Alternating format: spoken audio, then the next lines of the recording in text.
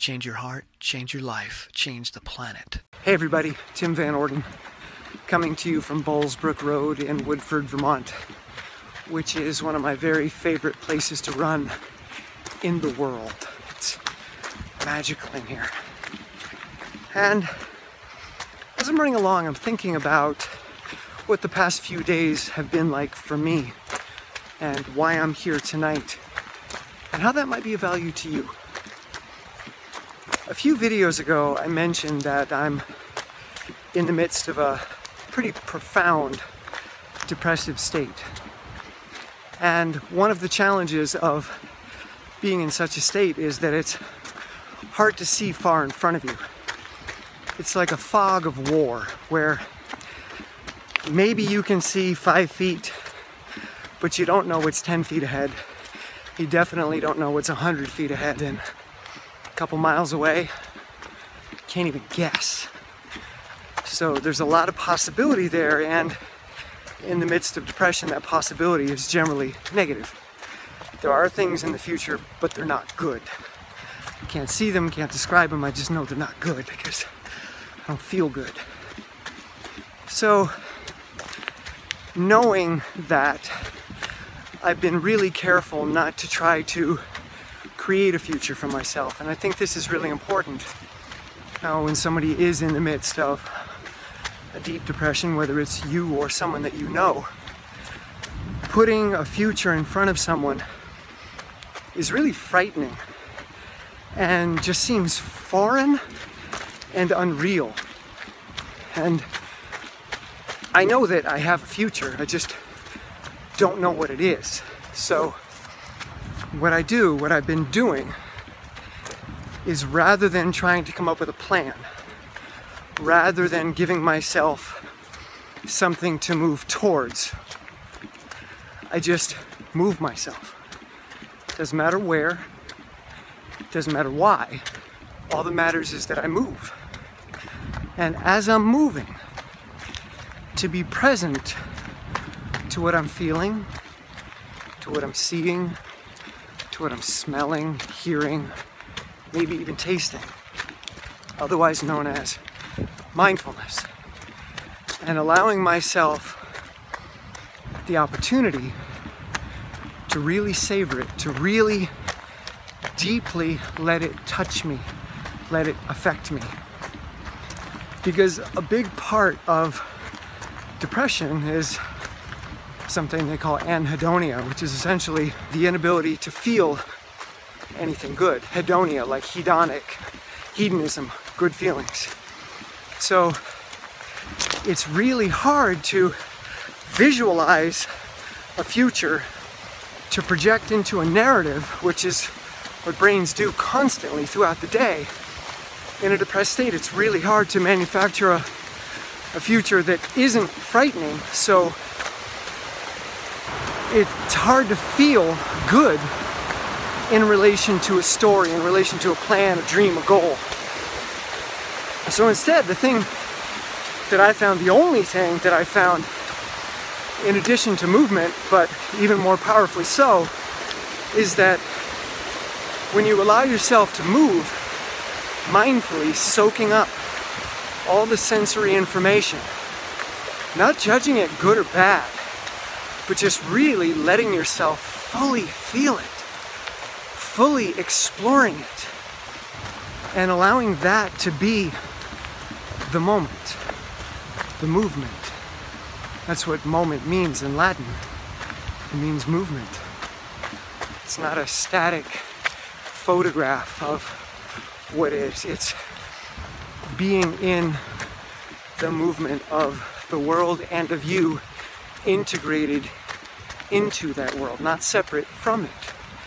And when you allow the world to touch you through your senses, when you allow it to permeate you and sink into you and let that be you for a while, doors start to open up.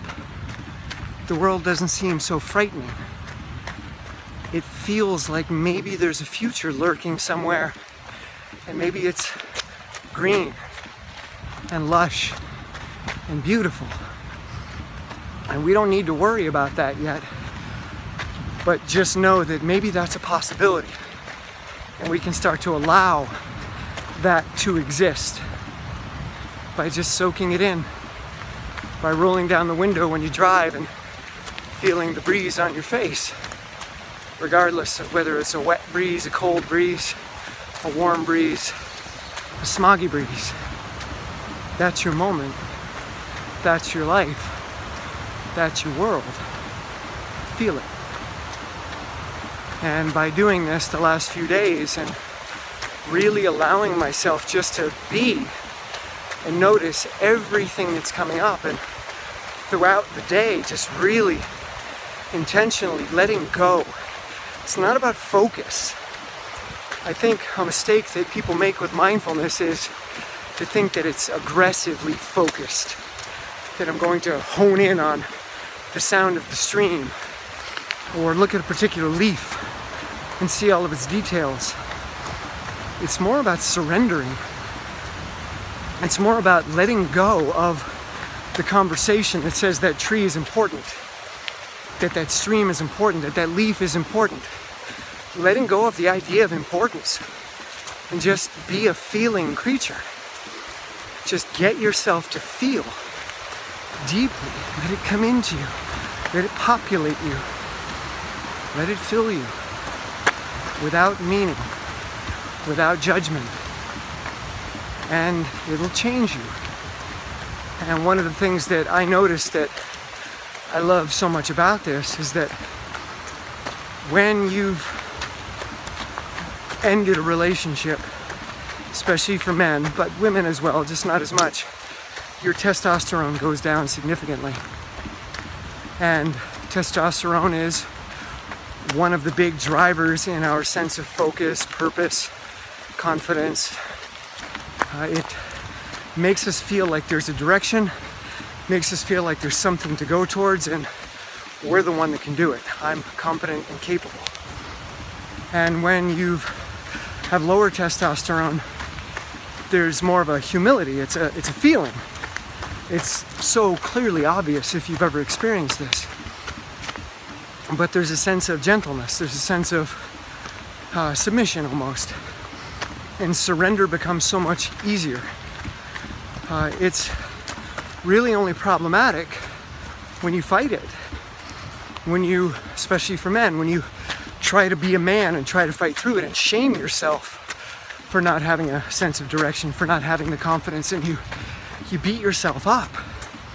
You feel inadequate rather than surrendering, submitting to the world, not to other people, submitting to what your body is doing, to what it's going through, letting it run its course, submitting to your grief. That doesn't mean collapsing under your grief. It simply means allowing yourself to feel your grief, allowing yourself to explore your grief.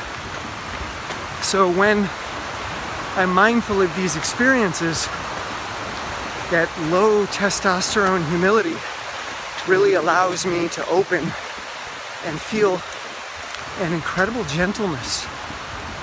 And it's one of the the most beautiful things that I've ever experienced. It's right up there with being in love. And I think it's a great healing salve if you've lost a love or if you've lost something that led to a depression, a sense of self, perhaps, a version of you that you loved, a version of you that you believed in, that in the world came along and snatched it away and said, No, that's not you.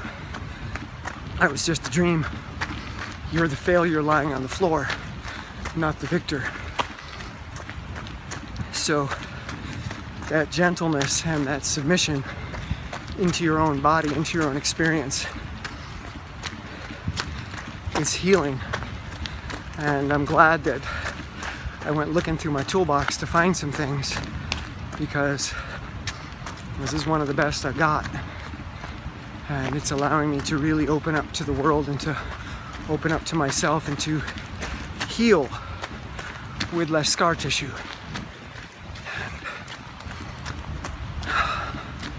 and to find love just in moments. I hope there's something in there for you. If you like this video, give it a thumbs up and leave your comments. And uh, yeah, and subscribe and Patreon and all that stuff. And and even the gimbal is tired of this video. Okay, I'll see you soon. Bye.